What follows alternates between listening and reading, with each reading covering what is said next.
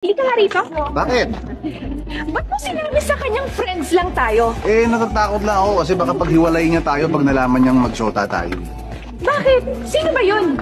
Ah, misis ko.